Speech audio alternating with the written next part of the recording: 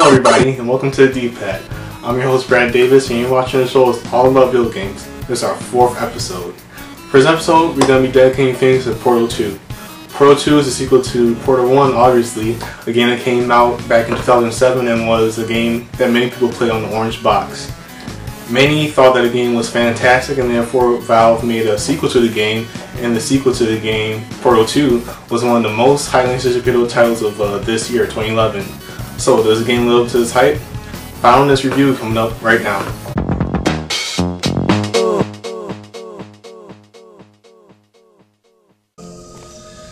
Yeah, it's alright, go ahead. Hello, and again, welcome to the Aperture Science Enrichment Center. We are currently experiencing technical difficulties due to circumstances of potentially apocalyptic significance beyond our control.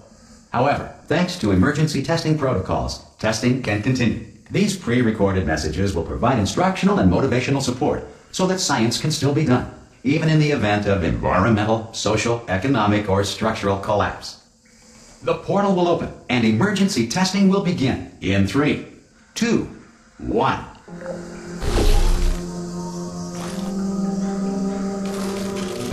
Portal 2 was a highly anticipated first-person puzzle game that came out late in April of this year. The first Portal was a fantastic game and therefore Portal 2 was hyped up to a AAA level. Understandably though, some couldn't picture how a puzzle game could be a AAA title. So does Portal 2 live up to the way that many anticipated it to be? Yes, though you more likely won't feel that way until you get through the beginning parts of the game. As soon as you start the game, you'll notice that the environments are very different compared to the first game. The environments in Portal 1 were mostly dull and plain. The environments in Portal 2 changed throughout the course of the game, with the beginning stages looking like a futuristic rundown jungle. It definitely looks like a new game compared to the first Portal.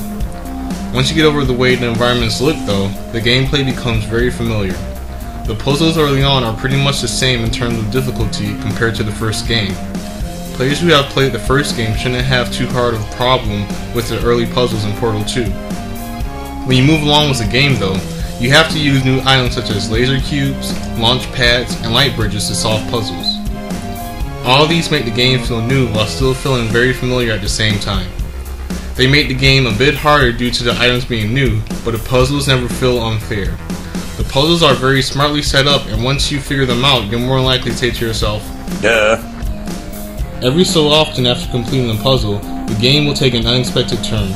I don't want to give anything away, so all I'll say is that the game really branches out, making the game feel almost like a spin-off of itself during some parts, even though you are using the same gameplay mechanics. The single player mode of the game is a great ride with a whole lot of polish, especially in comparison to the first game.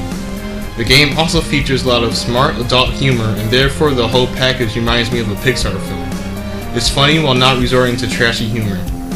The game has added a co-op mode with puzzles that will only work when you play with another person, which therefore makes the mode not feel as if it's tacked on.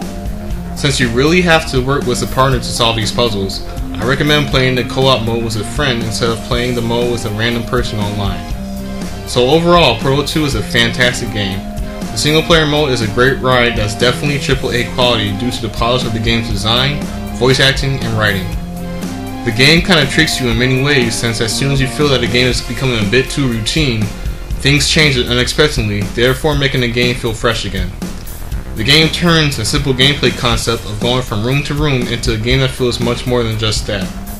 Some parts of the game did feel a bit slow to me, though a large part of that was due to the fact that I was playing the game for a long period of time and needed to take a break. The game is definitely one of the best games this year and is a must buy. While the game isn't really pick up and play and doesn't have much replay value after you beat it, the game is a great experience. Drop down to online deathmatch shooters and give your brain a workout.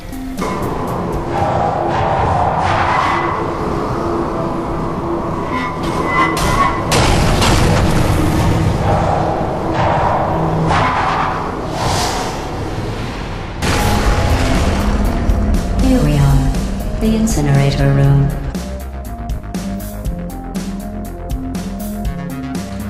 Alright, well that was a review of Portal 2, and it's a fantastic game that got our very first uh, A minus in the history of the show, and therefore it's definitely a must buy. Anyways, as I said earlier in the show, what we're going to be doing for this episode is doing uh, the whole the whole show is going to be about Portal 2, So what we're gonna do next is uh, critique a news story that came out about a, a couple weeks now, and I'm pretty sure some of you guys may have seen it already. And it's about Portal 2 and a father uh, getting mad at the fact that the game kind of pokes fun at, uh, well, he says it pokes fun at adopted uh, kids. Now, is he being, you know, is his argument reasonable or is he just overreacting? Ladies and gentlemen, it's time to sound off. Microphone one two one two. All right, so let's see a uh, news story. Let, let's see what the father has to say. Making fun of adoption. And tonight, a father is shocked at the insens- uh, insensitivity he says he witnessed. Here's the clip. What's wrong with being adopted? Uh, uh, well, um, lack of parents. For the record, you are adopted, and that's terrible. The game is called Portal 2, and it's only been available for about a month. Regina Mack just uh, talked to the father who shared this who saw this with his daughter. Yeah, I bet he was shocked and, and really surprised by something like yeah, this. Yeah, no idea. Uh, if, if he played a good portion of the game, he would know that that's the whole humor of the game. You know, the game has a lot of dark humor, and that it, it basically fit the rest of the game in terms of its humor. So it shouldn't have been that much of a surprise to him. Uh, particularly Horrible. because this is a game that builds itself as educational. It's rated E for everyone.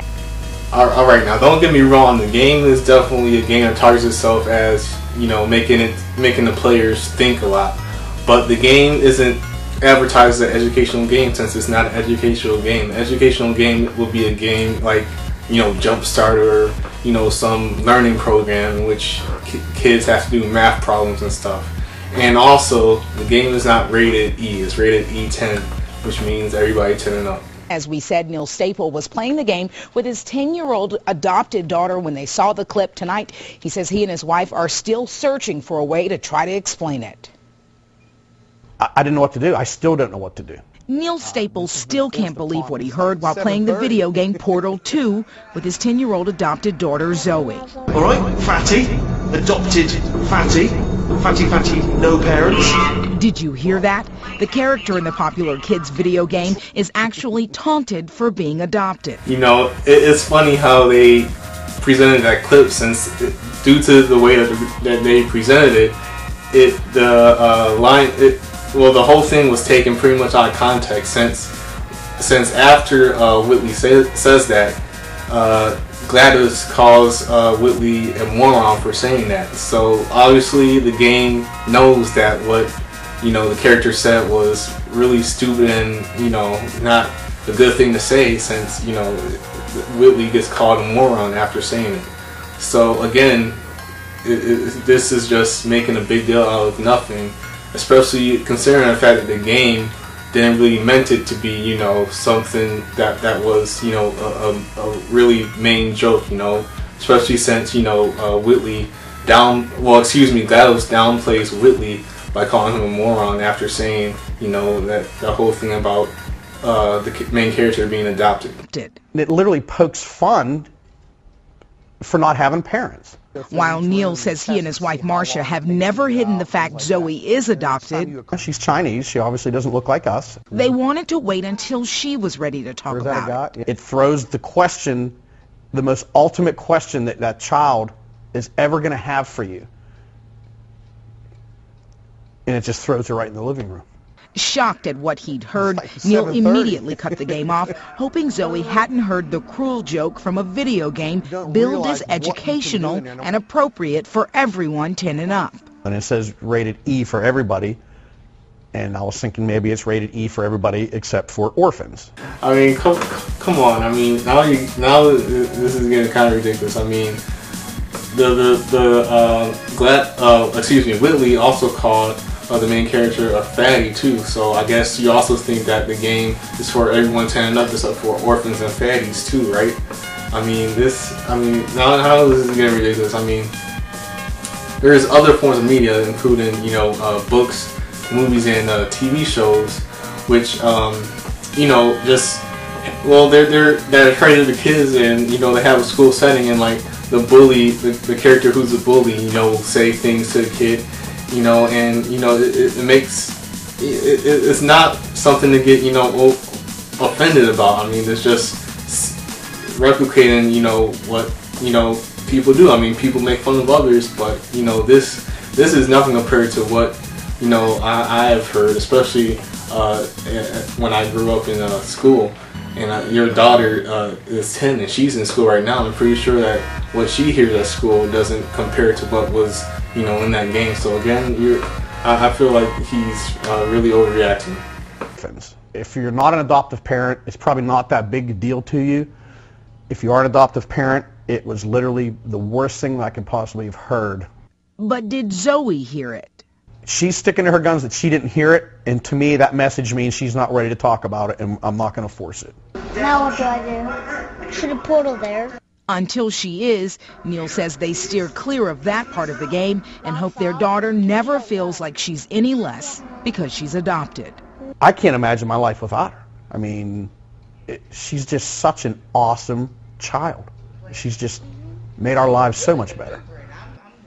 Now, again, we did say this game was educational, and it's because you have to sort of figure out a way to get out of every single room.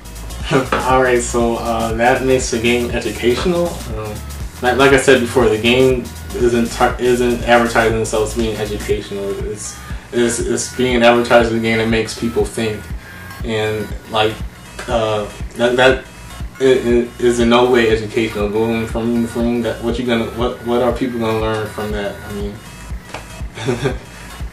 we did contact Sony, who distributes the game. They told us to contact Valve, the company that actually created the game. I did.